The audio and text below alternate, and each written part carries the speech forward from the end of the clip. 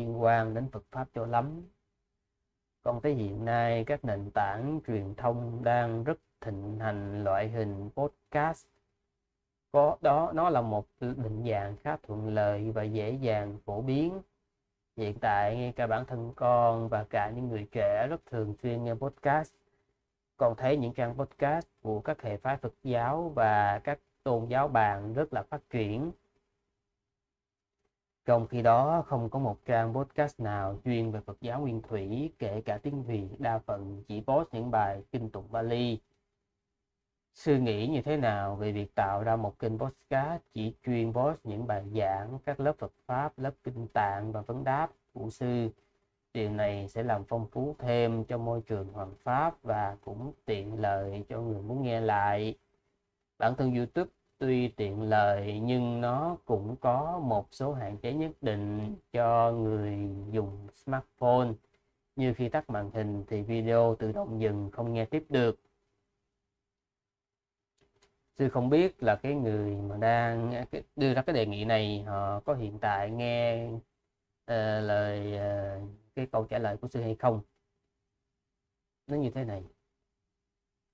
Uh, cái việc chuyên nghiệp để người chuyên nghiệp làm. Ờ, rất nhiều nơi thì họ có cái uh, chuyên môn riêng. Uh, có một bộ phận riêng mình tạm gọi là cái băng hoàng pháp. Mà cái nhiệm vụ của nơi này đó là họ sẽ đăng những cái bài và à, chịu trách nhiệm là đưa nó đến quần chúng. À, cái vị giảng sư á, chỉ có mỗi một trách nhiệm là soạn bài giảng và giảng thôi. Thì như vậy đó vì đó sẽ không bị phân tâm đến những việc khác. À, hơn nữa rất nhiều nơi cái cái kinh phí cho cái việc hoàn pháp rất rất là dồi dào à, thành ra đó à, họ rất là mạnh tay cho các cái mảng này. Sư đã thấy có có nơi là họ thuê họ thuê chuyên uh, chuyên quay phim chụp hình dựng phim rồi À, làm các cái sự kiện truyền thông. À, và đương nhiên là nó phải tốn phí nhưng mà do cái năng lực tài chính của họ hùng mạnh cho nên nó dẫn đến một cái chuyện là có rất nhiều người Ờ, nó nó buồn chứ nói thì không ra không có một không có bao nhiêu phần trăm chánh pháp hết. Hoặc là cái khả năng diễn giải vấn đề của họ là vẫn còn bị hạn chế. Ờ, nhưng mà cái cái năng lực tài chính của họ mạnh cái năng cái năng lực truyền thông của họ mạnh thì họ vẫn nổi tiếng như thường.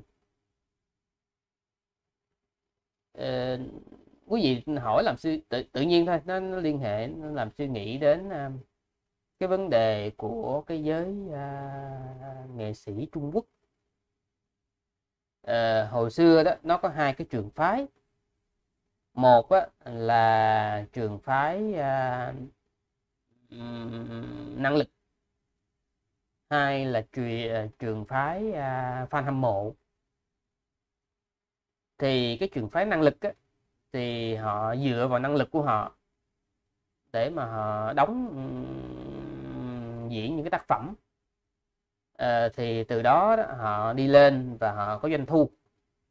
Còn cái trường phái thứ hai mà bây giờ mình gọi là trường phái idol đó thì họ chỉ dựa vào cái chiêu trò thôi để họ nổi tiếng. Và khi họ nổi tiếng rồi họ được nhiều người hâm mộ nhiều người ủng hộ. Và như vậy họ không cần năng lực họ chỉ cần diễn cái mặt rất là đơ nhưng mà họ chỉ cần xuất hiện trên màn ảnh thôi thì cái lượng fan hâm mộ cũng đủ giúp um, thu đem lại một cái cái cái thu nhập không nhỏ đối với đoàn làm phim và với bản thân họ.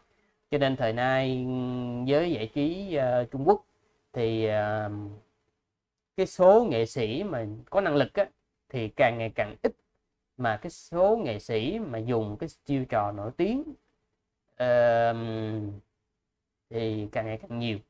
Đừng nghĩ sự chỉ ờ, chỉ dâu mắng hòe nha. À, cái đó ở Trung Quốc thôi còn ở Việt Nam mình có giống vậy hay không thì tự quý vị nhận biết. Có nghĩa là sao? À, cái số người mình thực lực á, thì nó rất là khó. Còn cái số người mà dựa vào số đông hâm mộ á, thì nó dễ dàng hơn. À, sư thì sư không có uh, cái cái năng lực tài chính hùng hậu để mà có thể xây xây dựng một cái đoàn đội uh, truyền thông. Tại vì nó cần cái tài chính chứ không phải không đâu. Rồi ờ, cái thứ hai là cần phải có những người chuyên môn làm những việc này cho sư. Ờ, bởi vì khi họ chuyên môn đó họ chỉ việc sư chỉ cần đưa ra nội dung thôi họ biên tập. Để họ có thể đưa lên tất cả các nền tảng uh, Facebook, uh, YouTube, uh, Twitter rồi thậm chí là podcast tất cả các hạng mục. Thì như vậy nó sẽ tốt hơn. Suy nghĩ của sư là việc chuyên nghiệp để người chuyên nghiệp làm. À, chứ còn mà hiện tại mà sư uh,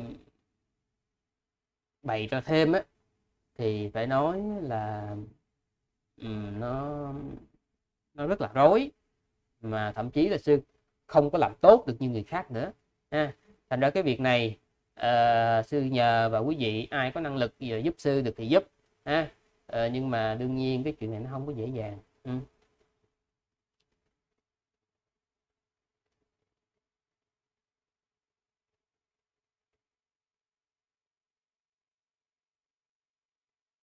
Ờ, còn cái uh, có một vị ở trong cái khung chat vị trong cái khung chat. Uh, hỏi uh, sư hỏi pháp nhưng mà nó như thế này nè.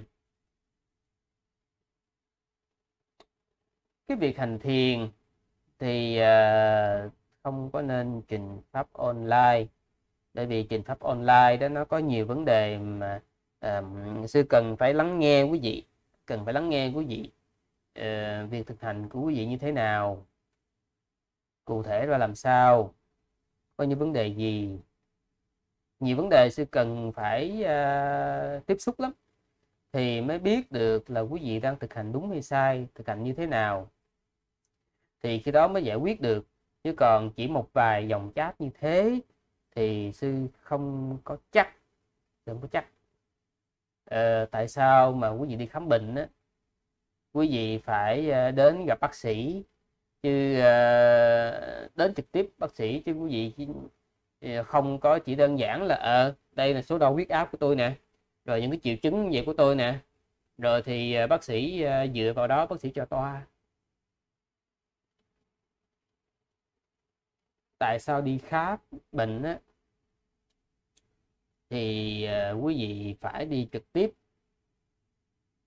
mà cái kiểu hành thiền mà quý vị có thể nghĩ đến một cái phương pháp tiện như vậy được ừ. ờ, thành ra phải xem xem lại nha chứ còn sư thì sư không có uh, đồng ý cái chuyện là trình pháp online ừ.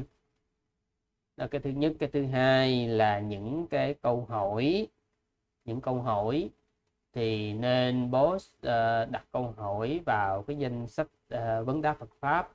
Thì như vậy đó uh, chúng ta sẽ uh, xếp hàng. Sư sẽ trả lời theo thứ tự. Chứ còn cái kiểu xèn ngang hoặc là gửi tin nhắn riêng cho sư thì uh, phải nói là không phải lúc nào sư cũng sẵn sàng để mà sư trả lời tin nhắn của quý vị. Và thứ nhất là nếu như sư có trả lời sư cũng trả lời ngắn gọn thôi cái thứ hai là sư sẽ không có đầu tư nhiều thời gian và cái thứ ba là chúng ta nên tập cái thói quen uh, xếp hàng. Và điều cuối cùng là không phải lúc nào sư cũng rảnh ha. À, sư đã dành thời gian để mà trả lời những câu hỏi cho quý vị thì uh, sư sẽ trả lời cho bằng hết. Yên tâm nếu một ngày không hết thì hai ngày uh, nếu mà hai ngày trong tuần cũng không hết thì sư sẽ tăng lên ba ngày trong tuần. Ừ.